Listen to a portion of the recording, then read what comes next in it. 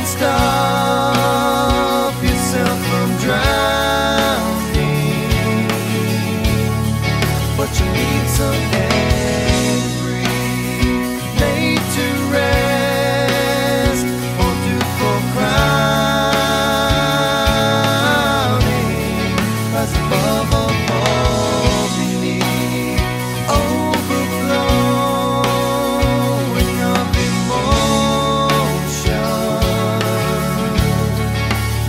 love.